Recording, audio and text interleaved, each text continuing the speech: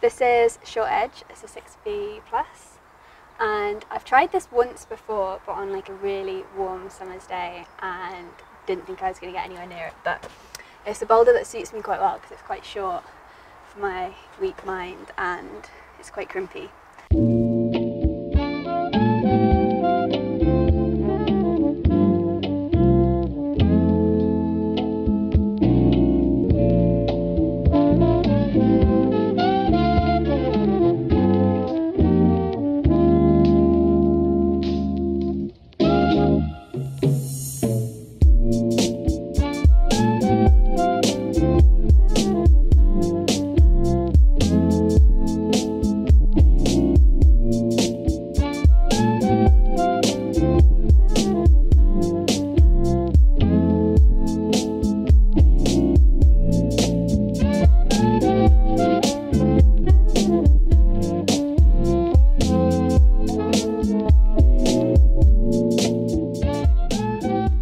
So I got my project, which I'm pretty pleased about. How long would you say it took me? About 10? No.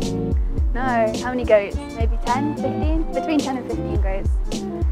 Um, just kind of going off those crimps and into the Gaston and falling off a lot. I'd had the top kind of down for a while and then once the Gaston went I was like, I know that I can do the top bit so just went for it and uh, got it and I'm really pleased.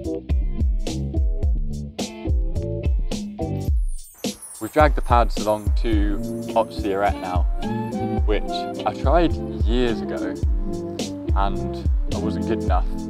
I've convinced Hannah to let me have half an hour on it and see what happens. It's quite, it's short, it's quite powerful. Um, the arete is a really positive arete. It's not one of those like blunt aretes. It's like a proper like right angled arete that you can really pull on.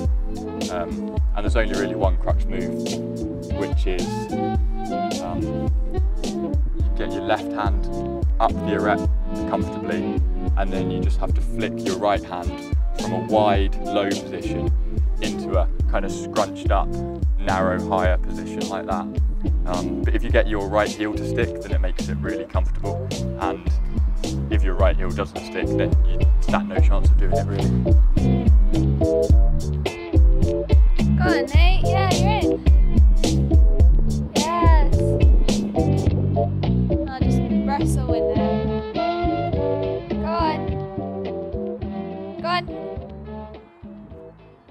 Go on.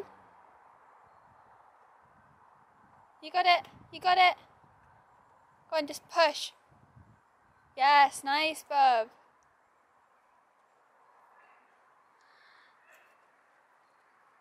Yeah.